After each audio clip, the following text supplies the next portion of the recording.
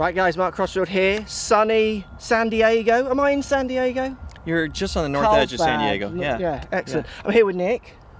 Where am I, Nick? Yeah. Where, have you, where have you brought me? This is the Ely Callaway Performance Center. We're thrilled to have Mark come and visit us, and um, this is a fun place for a guy like Mark who oh, wants to really see where the rubber meets the road in, in terms of the science of golf. Yeah, I'm looking forward to getting in there. What are we going to see in there? What kind of stuff are the guys going to quickly see in there? You're going to see some very interesting stuff. Uh, firstly, a club build room where yeah. uh, our friend Garrett that works here does all the club builds for Phil Mickelson and all of our staff pros. Fantastic. Um, you're going to see a lot of in, inside measurement devices, projection screens. The ball flies out there, gives you all the launch data. The putting studio. There's a robot where we do a lot of the testing, and then we do a ton of testing outside, and you'll see that as you as we tour around as well. Fantastic. So we're going to go and check out this fitting centre, this kind of building centre, this centre of excellence for Callaway, if you like. Not open to the public, Not only open to you today. Only open to me. I brought the public in via YouTube. Absolutely. You're all in here now. Let's get stuck in.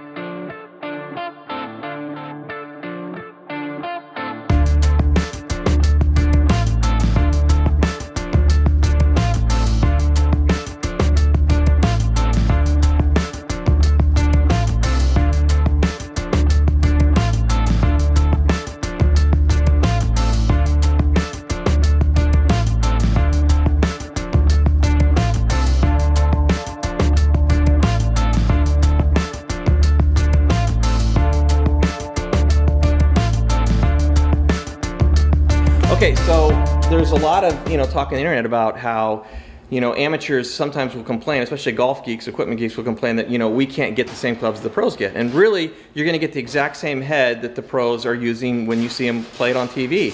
That club head that you see Gary Woodland playing came off the exact same assembly line that the club you're going to buy came from. It's just that when we build a club for tour pros, we measure with a tighter specification. Okay. So instead of having a choice between a 9.0 degree head and a 10.5 degree head, if Gary Woodland comes in and wants a 9.2, we're going to set the club up at exactly 9.2. Absolutely. That's the difference. Yeah. The, the ball's not going to move any faster off the face. The technology and features and benefits are no different. It's just that we build the clubs to a tighter specification. So if you had the ability and the machines to measure at that level of tolerance, you could take a set off the rack and you could set it up like any of your favorite tour pros. Yeah. But you have to have the equipment so that you understand. You gotta have to understand as well. I mean, obviously, these guys specifically often know exactly what they want built around obviously their high levels of ability. The guys like you say online who are saying, you know, we don't get the same club, which I see that everywhere as well. Right. Probably 0.5 of a degree isn't going to make that much difference to someone who's moving the ball 30 yards in the air on their. Abs absolutely, and it, certainly their needs are a little bit different, yeah, right? So the better the player becomes, the more tight those specifications need to be. Yeah. But the first goal is maybe going to your local club fitter and finding out what is it that I actually need. And then once you decide what you actually need, then trying to set the club up so it matches that that So this machine measures to a very fine tolerance. Is that what we're Loft saying? and lie, right? So this golf club, now a face has roll on it, right? So yeah. it's actually curved up and down. So it depends on how high and to what extent I put this little Absolutely. these little pins. But this club, so you can measure that face at any point, any part. any point, yeah. any point. So this one, in, in what I've defined as the geometric center, yeah, is 8.8 degrees aloft. Okay. And that's irrelevant. It's irrelevant what it says on the bottom. What's stamped on the bottom? That's in this orientation with this setting on the cog at the center of that face, and I just chose. So that's the center of the face, maybe not even the point they want to hit it on. Us. Oh, or you'll get a tour pro that doesn't really matter because he hits everything a little high toe anyway. I, mean, I was just about to say, my driver, I'm high toe. Yeah, so the loft for you, if you hit this club and someone hits it low heel and you hit it high toe, you're getting a total loft, yeah. different lofted impact, absolutely, absolutely. right? So not only will you get a drop and spin, you're going to get a higher launch angle, given other things are constrained like attack angle and Along spin loft. Exactly, and the fact that I'm presenting a different loft as well. Absolutely, it's, it's spin loft, right? It's the orientation of the club. Yeah. It's that face plane, it's the center of gravity behind that face plane and which direction that is going. Absolutely. And you have to combine all those features to understand what the ball is feeling at impact. Fantastic. And it's going to be different there than it is there, than it is there, than it is there. Absolutely. And so when we're working on the Tour Pro, we're looking at those, we're doing those face mappings and we're looking at those hit locations in the face and we're trying to describe to them, even though some pros don't want to necessarily hear about it. Yeah, yeah. For our purposes, for fitting the club, it's like we have to know how all these variables come into play when he actually hits the ball. That's interesting because I, have experienced that with some of the better players that I've taught back in the UK. They often don't want to really know They just want to be told, is, is that one right for me? Yeah, that one's right for you. Okay, great, I'll use that one. I'm sure you'll you get a few guys. Oh my gosh, yeah. they the- don't particularly want to know why they're good. They just want to be good. Yeah, the assumption when I work with an amateur, the amateur goes, "Wow, I get the, I bet the pros get really technical." I go, "No, it's not skill driven. Yeah. It's there, a pro is typically gonna be a little more interested in an amateur, but generally speaking, it's personality driven. So I'll get a 24 handicapper that's an engineer that wants to know every number, Yeah, but he's hitting a slice over the fence. Yeah, yeah. I'll get a tour pro, a world class player that comes in and goes, "You know what? You guys don't show me in your squiggly lines and numbers. I'll tell you when the club feels right. I'll tell you when visually I'm seeing what I want to see Yeah, and can play golf with. Yeah. And you guys give me a thumbs up or thumbs down, but don't put me in front of the monitor and start pointing at numbers and lines because Yeah. that's just going to confuse me." Very interesting. Right. So.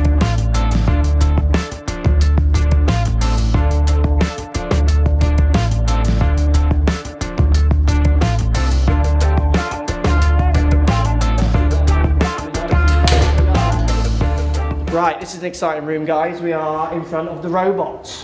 What happens in here? This is where it all happens. This is the real testing, is it? This is this is where the rubber meets the road scientifically, and this machine is the best driver of ball in the game of golf. Better than me? A little better than you, a little longer, a little straighter. He hits doesn't it, watch the video. hits it more solid.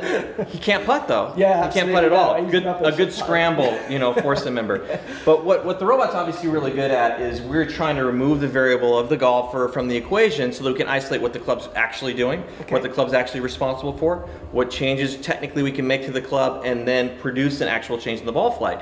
Where the, the the robot is, for all intents and purposes, stupid. It does not react to anything. It doesn't react to the shaft. It doesn't like the way it looks. It doesn't. Oh, the sound's wrong. Doesn't do any of that. It delivers. We can deliver any attack angle want, any path angle we want, within a tenth of a millimeter on hit location. Set the dynamic face angle and the dynamic lofted impact. We can zero things out and really start to do very accurate comparisons between not only our last year's club versus this year's prototype, we can also compare our competitors' clubs. So we can look and go, hey, this competitor does things certain certain things very well. Other things, maybe it's got a chink in the armor over here. There's physics trade-offs you're making with each club, and so we can see where our club fits in the competitive landscape. And another thing a club does, which is really which is really necessary for a business, is that if we make a claim that our new driver is 7.2 yards longer, we need to be able to back that up legally with data because it may get questioned, it may get challenged. And so with, we could do it with people, but it would take hours and hours and tons of people and tons of resources and 200,000 hits to get to a statistical significance that a club is longer. This guy can do it in about 200 hits and you're done, you've got the data you need. Fantastic, great. So this is where those claims are kind of cemented, if you like. This is where they're proven to you, and then you put it out to the consumer. Absolutely. Great, fun room. Thanks for showing it, guys.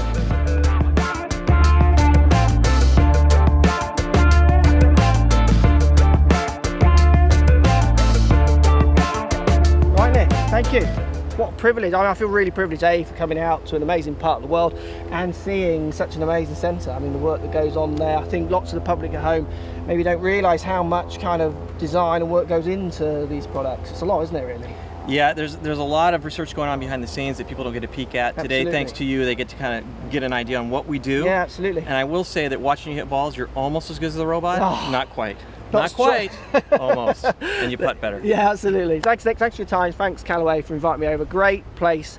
Uh, like I say, it's not open to the public. It's your your guy. It's like your playing ground. Got to get on tour if you want to come here, haven't you? Or Bring your a- tour or have a card. big YouTube channel. We'll check your tour card at the front gate. Yeah, absolutely. There you go, guys. Post comments down below. Love to hear what you got to say. I mean, what an amazing place, eh? Thanks for watching, and we'll speak to you all soon. So if you like what's going on here, don't be afraid to subscribe to the channel. Also, thumbs up the video, post comments. Love to hear what you guys got to say. Let's keep it social. The more we talk, the more we share, the easier this game will get for uh, for everybody. So if you want to find me on Facebook here, you can find me on Facebook. If you want to tweet me, find me on Twitter here as well. Just follow the links, all in the description. Come and join the show. Get active, get involved, get playing some better golf. Thanks for watching.